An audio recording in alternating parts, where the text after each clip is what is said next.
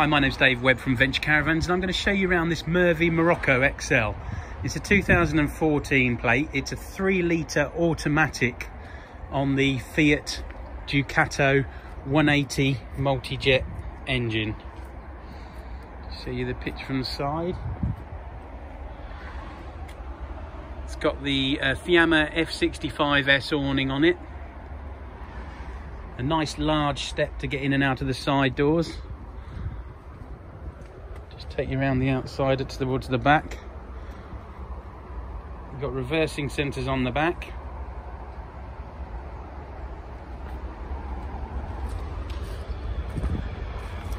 The cassette toilet is fitted with the SOG system. Those are familiar with that.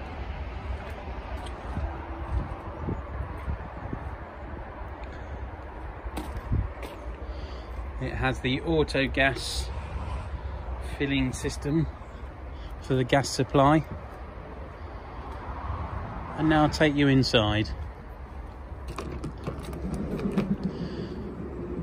So as soon as you open the door here, you have a massive long bench seat um, and two swivelling front captain's chairs there. Plenty of room and light all the way around it. Like I said before, a large step here Obviously this can be a single bed, but as you can see in the floor rails, you can slide that whole system forward and make it into a double bed. And it's a very spacious and comfortable double bed. As we step inside, you've got loads of LED downlights underneath the cupboards. You have your control panel over here, which includes the Webasto heater, diesel heater, and your battery voltage is recorded on this compact display. And then you have your water levels and your lights and switches things there. You've got um, plenty of cupboard space and you've got your speakers in the corner so there's lots of cupboards around. All the way through and optional shelving to put in it. So you can take the shelves out if you want to nicely lined with carpet. You've got a bracket for a option TV here and uh, or a 12 volt socket and a main socket. Um, the actual TV comes with it and it's behind this panel here. So you've got an Avtex TV that sits behind this nicely upholstered cover. The kitchen area is spacious. You've got this fold up shelf that you can put there to finish off the worktop. Hot and cold water. Plenty of cupboard space throughout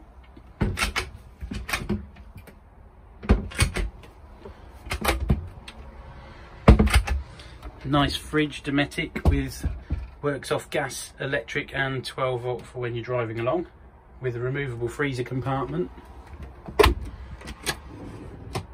Nice drawers, everything about this is robust. Electric hob and three gas burners. Main socket up in the corner here, you've got a pull down blind at the back, lighting underneath, microwave on top and an extractor fan um, omnivent in the roof there that can blow air in as well. So you can either be used for blowing air in or for extracting when you're cooking. I was just wondering what that is and that's your igniter for the hob. Nice and spacious.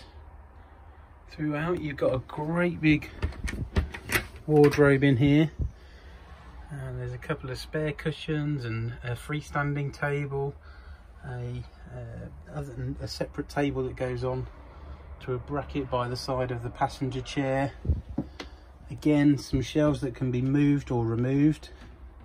The handle for the awning is nicely tucked out of the way in the corner of the wardrobe and there's even sort of little shelves at the back of the wardrobe you really utilizing all the space and all finished in a superb way.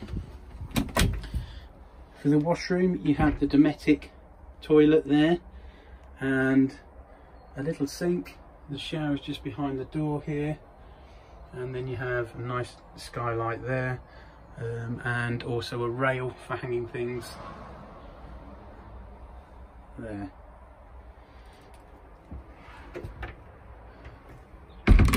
So all in all, a nice spacious motorhome um, on a van conversion. Not too small, not too big. Um, and you know nice and sensible with the automatic gearbox cruise control air conditioning so the drive is nice too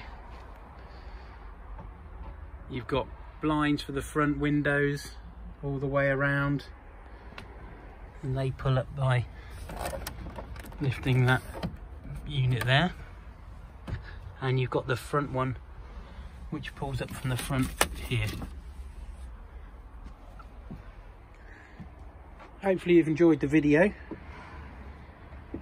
And it's given you some sort of an overview of this model.